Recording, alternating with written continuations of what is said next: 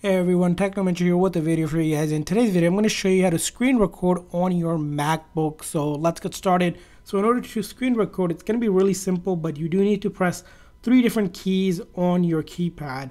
So you're going to locate the shift key, the command key, and then the number five key. So you're going to press and hold the three keys at the same time. So I usually take the shift, command, and five. And once you do that, a navigation menu like this will pop up which you'll see right here to record. But before you record, you can see you can select the entire screen or select portion of it and then also capture a selected portion and then a couple other options as well. And then for the options here, we can take a look at options that you can customize in terms of where you want to save it. So by default, it's on desktop. If you want to set a timer before you start, the microphone here, we're going to select the microphone to be the MacBook microphone unless you have external one. So we'll select that.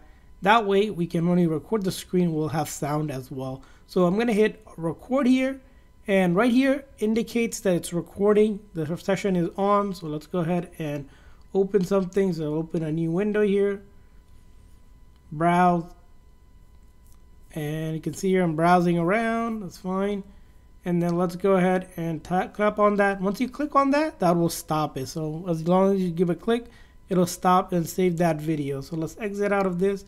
And this video, you can see here, you can swipe it or click on it. So let's go ahead and click on it. We'll see able to go ahead and play it. And as you can see here, we just recorded the screen on our MacBook.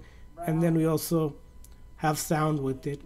And I exit out of it. And as you can see here, it's been saved on my desktop here because that's the location I put it. So that's how you record again. Shift Command 5 at the same time will allow you to record your MacBook screen with sounds and audio. I hope this video was helpful, so please consider a like and subscribe button for more tips and tricks for your MacBook. We'll see you guys next time.